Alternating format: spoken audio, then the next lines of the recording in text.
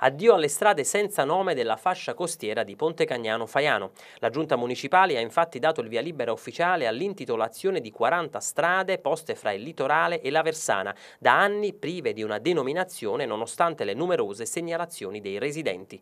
L'esecutivo ha acquisito il lavoro compiuto dalla seconda commissione consiliare, competente in tema di toponomastica, che ha redatto il piano per dare finalmente un nome alle arterie non presenti nelle mappe.